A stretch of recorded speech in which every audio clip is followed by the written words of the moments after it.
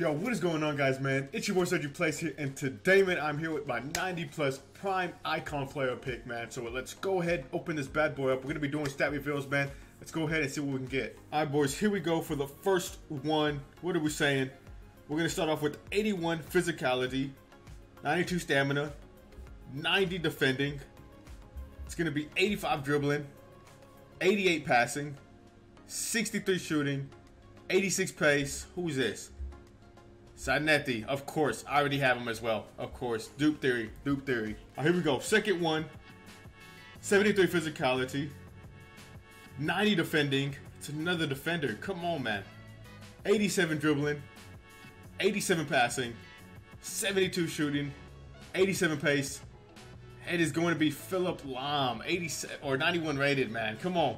Come on, man. We need a big dub, man. We need a big dub. We got two left, please. Come on, EA. I want to see a Brazilian, man. I want to get a Brazilian. Come on. Here we go. Next one. 73 physicality. 38 defending. Okay, this might be a striker. This might be a striker. 92 heading accuracy. 89 dribbling.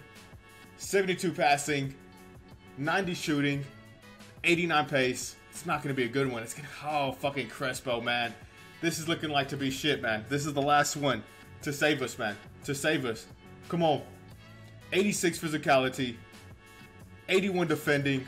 Oh no. 83 dribbling. Oh no. 88 passing. 90 shooting. 81 pace. Who the fuck is this? Michael Ballack. Okay. Okay. Okay. Oh my goodness, guys. Um. Yeah, man. Uh, was not expecting. I was expecting to get better. Honestly, man. Honestly, uh, I'm kind of pissed at this this this this lineup that I have to choose from. Michael Ballack actually doesn't look too bad. Medium high work rates.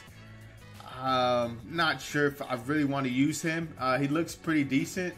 Very, very box to box, no doubt. We're definitely not getting Crespo. And Philipp Lahm looks pretty decent. Three star, three star, right back, right wing back, left back, and CDM. Not sure who I want to take, man. Not sure who I want to take. I think I'm going to look at the price tag and see who who seems to be better. Michael Ballack looks like looking like is looking to be the best one. Honestly, I might just take Michael Ballack. Uh, but yeah, I'm gonna look at the price tags right quick, and then I'll come back with y'all. Well, all right, guys, it's looking like we're gonna go with Philipp Lahm. Uh, he's looking to be the most expensive. I think he's about 395k.